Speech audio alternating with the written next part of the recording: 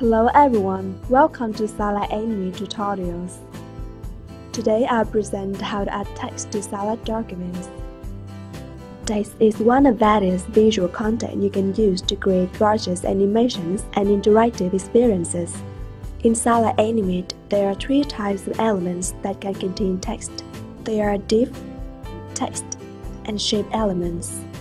You can insert these types of elements by clicking the corresponding buttons on the toolbar or right-clicking the canvas and selecting the element type you want from the context menu.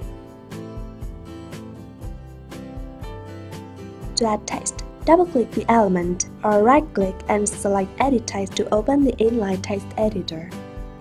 You can use the text formatting toolbar or the text tab in the Properties pane to edit many text attributes like font, size, color, style, spacing, and so on.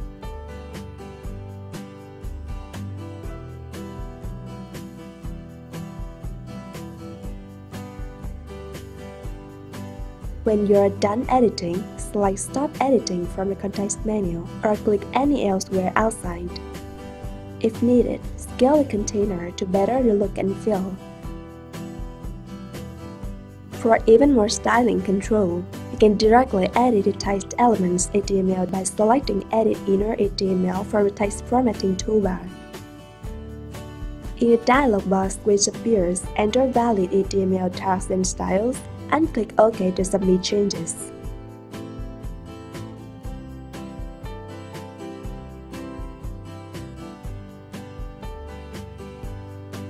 For text attributes, you can animate some Daily size, text color, highlight color, word spacing, letter spacing, line height and text indent. Keyframe diamonds will appear next to these animatable attributes. Back to the table, pay attention to the organic foods text.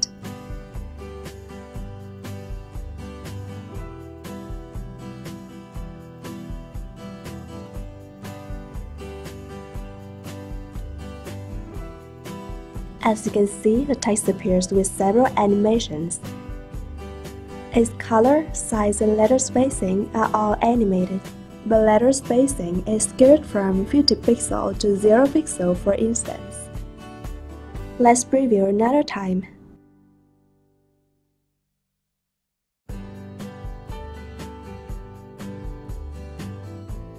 So that's how to add and edit text in Saola Animate. Thank you for watching.